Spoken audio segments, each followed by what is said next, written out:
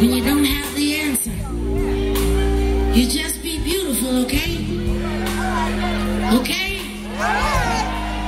In the meantime, in between time, as long as you love God, love yourself, and really, really love the ones that you love, then guess what?